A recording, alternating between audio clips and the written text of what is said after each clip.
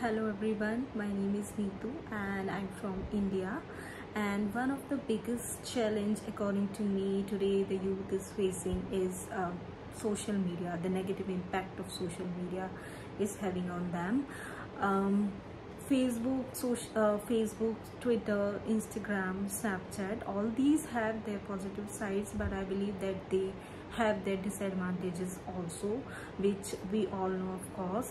like um, it is exposing the youth to cyberbullying slut shaming mainly depression because um, they are um, you know comparing their life with the others by watching the stories of other people like how they are uh, living their life what is their lifestyle and they they think that if this person is doing that i also have to do that. And if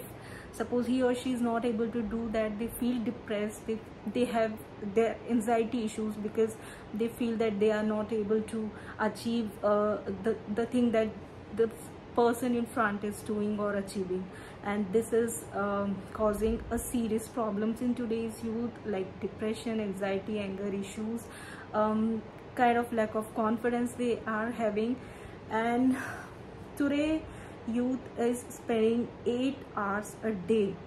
uh, on social media. So i believe this is very serious situation that we have to work on. And i think there are two important things which we can do to overcome this situation. First is um, open communication education and support which are vital to um, you know mitigate the adverse effects of social media and second thing is um, encouraging the offline activity